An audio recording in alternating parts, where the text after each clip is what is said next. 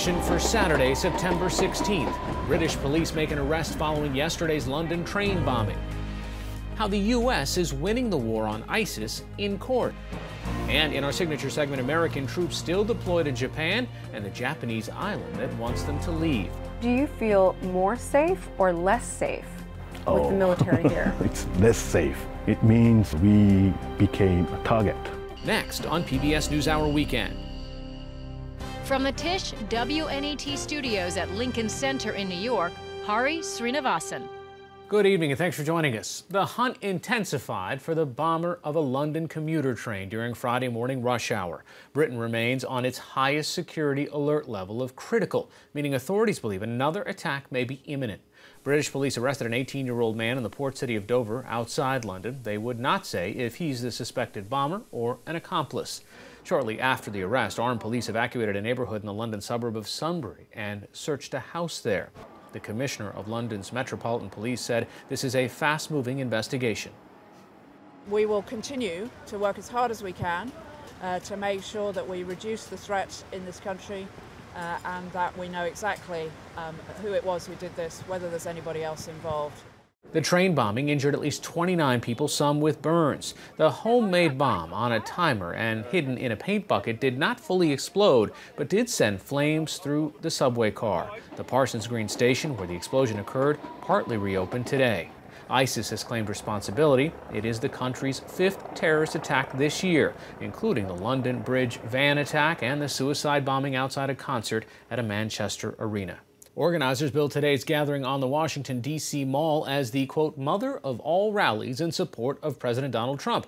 About 500 Trump supporters turned out for speeches and a concert. They said their purpose was to defend American culture and values. Across from the White House, a smaller group of anti Trump demonstrators called on Mr. Trump to take a harder line on Russian meddling in the election last year. In a direct challenge to the Trump administration, California's Democrat controlled legislature early this morning approved a sanctuary state bill. It would strictly limit how much state and local police in all cities can cooperate with federal immigration agents. Governor Jerry Brown has said he'll sign it. But the governor has not said if he'll sign the bill to move up California's presidential primary from June to March in 2020. Legislators want the Golden State to have a greater influence picking the party's nominees. Another bill on Brown's desk would make California the first state to require all presidential candidates to release tax returns for the last five years in order to appear on the primary ballot. In St. Louis, activists are planning further demonstrations over the latest acquittal in a fatal police involved shooting. Last night, police clashed with protesters of yesterday's acquittal of a white police officer who shot and killed a black driver after a high speed chase in 2011. Officer Jason Stockley had been charged with first degree murder for shooting Anthony Lamar Smith five times while Smith sat in his car, an incident captured on police dash cam video. Stockley said he felt he was in danger because he thought Smith was holding a gun, and the judge found prosecutors failed to prove beyond a reasonable doubt that Stockley did not act in self defense. Prosecutors said Smith did not have a gun. Demonstrations began peacefully, but after dark, police used tear gas and pepper spray to disperse protesters who confronted them, threw rocks, and broke windows on the mayor's house. At least 23 people were arrested and 10 officers were injured. Florida power companies say just under a million homes and businesses are still without electricity, almost a week after Hurricane Irma struck the state. Tomorrow, for the first time since Irma battered the Florida Keys, residents and business owners will be allowed back to check on their property. The new iPhone 10 will offer facial recognition technology, which has raised concerns over privacy. Read more at pbs.org/newshour.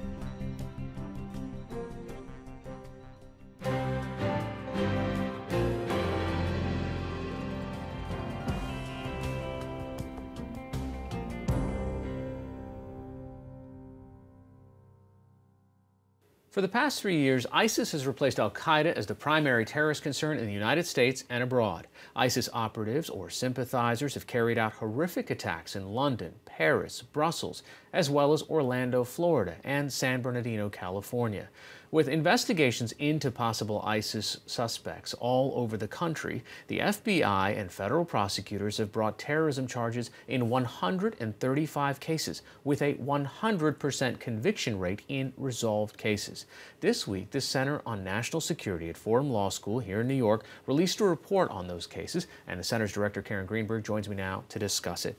Uh, let's start with, you know, we're talking in the context of another attack in London. What's different about the attacks that are happening happening in the United States versus what's happening in Europe? Specifically, what's different is that we have not seen a lot of attacks the way Europe has in the past many months. The second thing is, is that in Europe, many of them have been highly organized attacks involving numerous individuals, whereas the plots in this country often don't amount to attacks. They, law enforcement often stops them before they even get to any kind of coherent plot. The attacks that we have seen have sort of been separate from what law enforcement is doing. But for the most part, the landscape looks very different in the United States in terms of number, complexity, and, uh, and other things like that. So a lot of the times, I guess, in the U.S., it's people that are plotting to, and, and sometimes with the assistance of the government and a, kind of a, a, sting operation? You know, it's interesting. There's, an, there's always been sting operations for terrorism. And what you've seen with the ISIS cases is a marked increase in the percentage of cases that the FBI is bringing that are informant cases. So, for example, this year in 2017, where we've only seen 17 indictments so far, uh, I think it's over 80% of them are FBI stings. So it tells you that they see this as a preventive model that they're uh, relying upon, but it's got a lot of controversy around it. Is there a profile of the type of person that does this? There is no profile. The most frequent age is 20 years old. They're usually men, they can, males. They can be from any ethnic background. Many of them are looking for their day in the sun. Many are looking for purpose or some kind of mission, but that is not something quantifiable and not something predictable. So, no one of the things that uh, leapt out from the report was what 78% of defendants are U.S. citizens, yeah. 60% born in the U.S. Yeah. yeah, these are Americans. They're American kids who, who grow up and have and have make a decision at some point in their late adolescence, for the most part, mm -hmm. that they um, they want to engage in violence or that they are fantasizing about violence. And many of them come to ISIS late in their sort of wandering. Some of them trying to join militias first. Some of them tried to join the uh, army first. You know, it's a it's a different patterns. You know, so does Europe look at U.S. as a model then? I don't think so. Europe is much closer to the fight in the Middle East. The numbers of returning fi foreign fighters to Europe are, um, you know, staggering in terms of their numbers. That's what they're worried about. The numbers of uh, Muslims in jail and in prison in Europe is very high, and so prison radicalization is also very important. The, our sample, not our sample, the 135 cases, very few of them had criminal records. Some of them may have engaged with police in, in the past, but they have not served time in prison. They have not been indicted. Um, they haven't been foreign fighters. So it's a different, it's a different context. You know, you show that the numbers have actually been decreasing year over year since 2015. So. Yeah. What are we to think of that? Does that mean that we're, we're, it's working, our interventions or our punishments, or is the strategy shifted? I think the law enforcement has sent out a very clear message. Don't go there. Don't think about it. That's the first thing. The second thing is, during the first year, a number of these individuals wanted to go abroad. They wanted to fight. They were foreign fighters. And the FBI intervened in a very strong way there, but I don't think it was just that. I think the news headlines about what happened when these individuals went abroad, I think the amount of brutality and death has made individuals who want to go abroad, um, you know, much less. And it may be that some of the counter extremism programs that are active in places like Minneapolis and other major cities around the country may, may be working. Karen Greenberg from the Center on National Security at Fordham Law School. Thanks for joining us. Thank you for having me.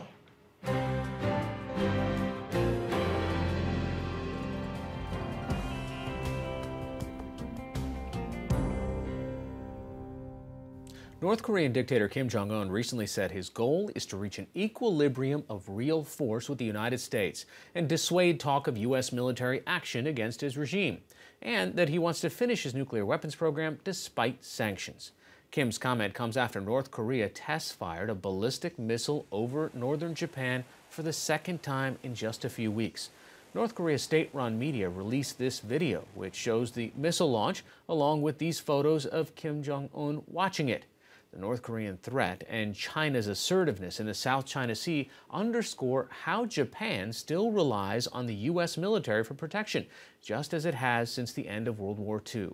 Earlier this month, Defense Secretary Jim Mattis said the U.S. will work with Japan to enhance its missile defenses, and the U.S. commitment to defend Japan remains, quote, ironclad.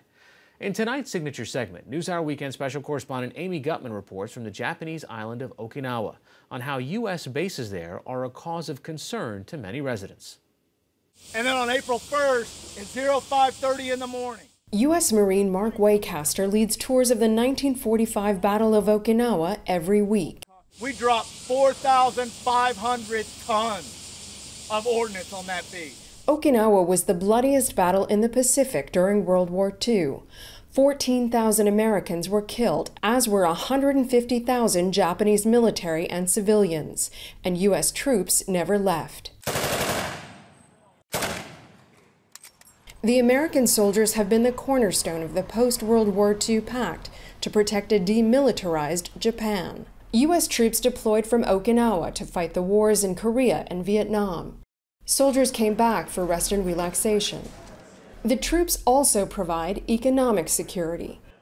9,000 Okinawans work on the bases, and many more at businesses supporting them.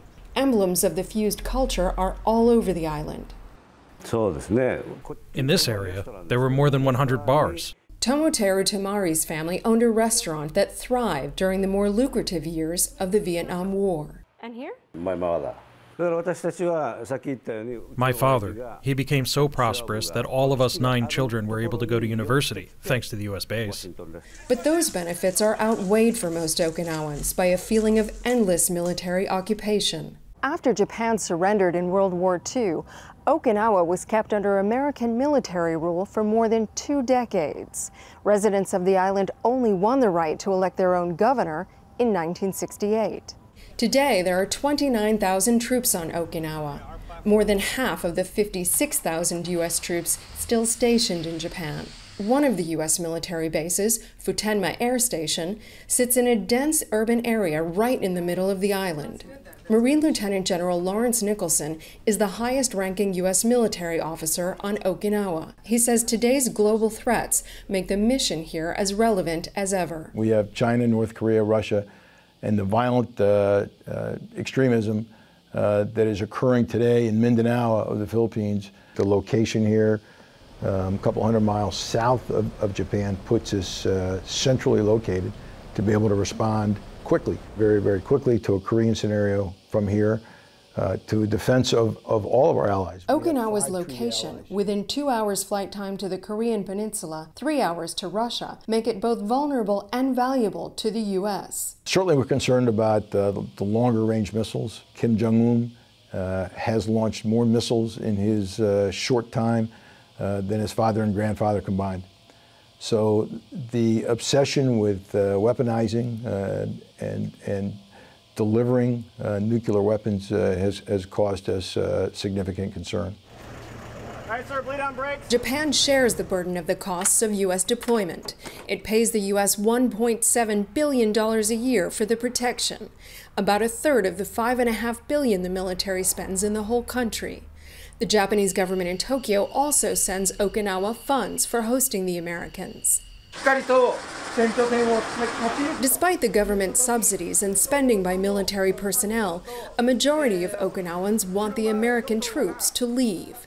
One of the biggest complaints nearly 6,000 crimes committed by U.S. military personnel since 1972, according to police records. When three U.S. servicemen abducted and raped a 12 year old girl in 1995, public outrage soared and propelled talks to reduce troop levels on the island. In 2014, the crime rate for the U.S. military personnel in Okinawa reached a historic low. But last year, residents were reminded of past brutalities when a U.S. military contractor raped and murdered a 20 year old woman. How do you explain these atrocities? You can't explain it. We were as shocked and horrified uh, by the incident uh, as anyone. The, the, fact that it was an American civilian working on a base that had committed this um, was, was devastating. we have an obligation to be better. That pledge is little solace for Kinjo Takamasa. His mother managed a bar near a base in the northern part of Okinawa. In 1974, she died when a U.S. Marine hit her in the head with a brick during a robbery. I used to think the U.S. military was helping to revitalize our town, but it was an illusion because I became a victim. Six days a week, protesters gather outside this base to complain about the military presence, including the noise and the safety risks of U.S. aircraft flying above. V 22 Ospreys take off from Futenma Air Station every day. The controversial and accident prone aircraft takes off like a helicopter and flies like a plane. They cruise over homes, hospitals, and schools. Practically next door, Professor Masaaki Tomochi teaches international relations at the University of Ryukyu. How regularly do you hear planes oh. taking off and landing? Uh, every day, uh, from the morning to the night time, actually. Six months ago, one Osprey crashed in Okinawa. Okinawa Governor Takeshi Onaga is leading the fight to reduce the American military presence. We depend on security from U.S. military bases in this country. But the Japanese government, they are willing to locate all the bases in Okinawa. I can't tolerate this overconcentration of U.S. bases. Onaga calls it overconcentration because Okinawa represents less than 1% of Japan's land.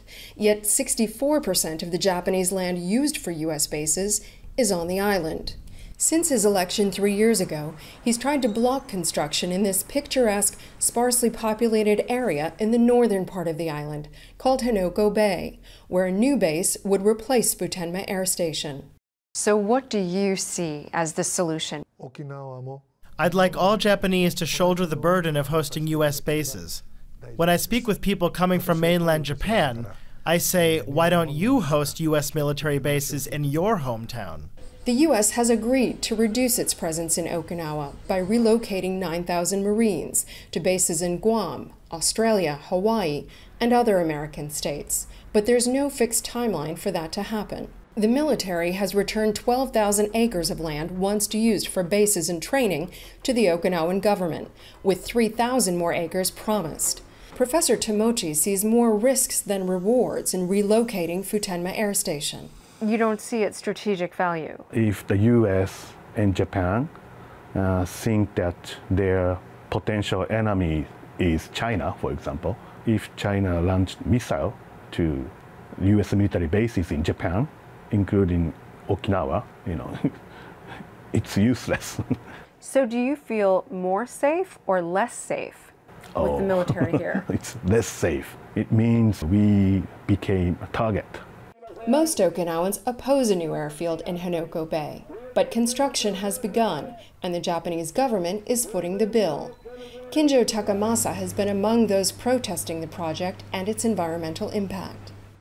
This is sacred ocean for me, a sanctuary. I became a protester because the U.S. base destroyed nature. Businessman Tomoteru Tamari, whose father owned that thriving restaurant, is among the minority of Okinawans who support the new airfield as do local officials, hoping it will revive the area's fortunes. Some residents who had moved out are starting to move back. There's hope the population will increase and create a better environment for children, better education. But Okinawa's government says the island would be better off with more private development.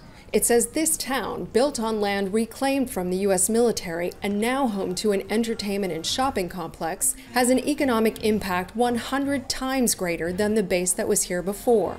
Okinawans would like to replicate that success, turning more prime real estate used by the military into valuable destinations for commerce and tourism.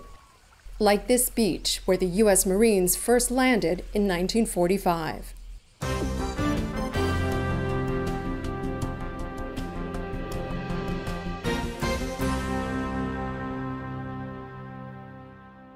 Bangladesh accused neighboring Myanmar today of repeatedly violating its airspace with drones and helicopters, but Myanmar denied it, adding it's been transporting rations to refugees near the border. Around 400,000 Muslims, known as the Rohingya, have fled mostly Buddhist Myanmar into Bangladesh during the last month. The exodus began when Myanmar's military cracked down on an armed resistance by the long persecuted Rohingya minority and burning Rohingya villages. A United Nations official called the actions by Myanmar's military a quote textbook example of ethnic cleansing. For more on the Rohingya refugee crisis, I'm joined by Reuters Myanmar Bureau Chief Anthony Slodkowski via Skype from Bangkok in neighboring Thailand. Anthony, let me just start with the, the, the, the scenes that we have witnessed over the past several weeks. We're talking about hundreds of thousands of humans fleeing one country and going directly into Bangladesh who don't really have the capacity to host them. Yes, uh, indeed. Uh, it's a horrible uh, humanitarian disaster of epic proportions. Uh, we're seeing, as you said, uh, hundreds of thousands of people who have fled um, uh, Myanmar in a very short period of time, and humanitarian agencies and the United Nations agencies in the na- in neighboring Bangladesh are struggling with uh, the most basic um, uh, supplies such as water, food, and uh, sanitation. So this is really a, a, a humanitarian disaster of, of, huge proportions. What do we know about the burning of these villages that is driving so many of these refugees to cross the border? So the Myanmar government blames the Rohingya insurgents uh, on the fires, but um, people who have uh, crossed the border and um, organizations such as um, uh, Amnesty International and Human Rights Watch point the finger at the Myanmar military, um, uh, saying that it's uh, the Myanmar military organizing a campaign of arson uh, and intimidation um, to drive the Rohingya out of uh, out of Myanmar. Now, Aung San Suu Kyi has chosen not to come to the UN General Assembly. Uh, has she made many public statements about what's going on? Not many. She made a, a, public statement in the immediate aftermath, praising the security forces and condemning the attacks. And in subsequent appearances, she referred to these attacks as terrorism. Um, but this silence is about to change because uh, Suu Kyi is uh, uh, scheduled to deliver what's billed as the State of the Union address uh, on Tuesday. So all eyes will be on her during that uh, address. All right, Anthony Slodkowski, Myanmar Bureau Chief of Reuters, joining us via Skype from Bangkok, Thailand today. Thanks so much. Thank you. This is PBS NewsHour Weekend, Saturday.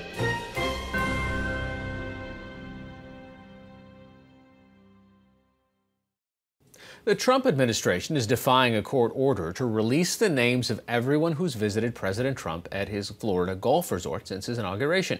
In July, a federal judge ordered the public disclosure, but yesterday the Justice Department provided only 22 names, all members of the Japanese Prime Minister's delegation when he visited in February. Citizens for Responsibility and Ethics and two other groups had sued for the visitor logs at Mar-a-Lago and Palm Beach, where Mr. Trump has spent 25 days since taking office. The Justice Department maintains the president's schedule is exempt from the Freedom of Information Act. Jeffrey Sandusky, a son of Penn State football assistant coach Jerry Sandusky, who was convicted of sexually abusing underage boys, is heading to prison for his own sex crimes. The 41 year old is expected to serve six to eight years in state prison following yesterday's guilty plea for soliciting nude photos from a 16 year old girl and asking a 15 year old girl for oral sex. Jeffrey Sandusky, a former state prison guard, is one of Jerry Sandusky's six adopted children. He had been set to go to trial next week. The elder Sandusky was convicted in 2012 in a trial for molesting 10 boys. Veteran Hollywood character actor Harry Dean Stanton, who appeared in more than 200 movies and TV shows, died yesterday of natural causes. See, an ordinary person spends his life avoiding tense situations. Repo Man spends his life getting into tense situations. The Kentucky born Stanton created memorable supporting roles in such films as Repo Man and Alien, and had a rare star turn in Paris, Texas. Stanton also appeared in The Godfather Part 2, Pretty in Pink, and most recently in the revival of TV's Twin Peaks. Twin Peaks director David Lynch once said, No one gives a more honest, natural, truer performance than Harry Dean Stanton. Stanton was 91 years old.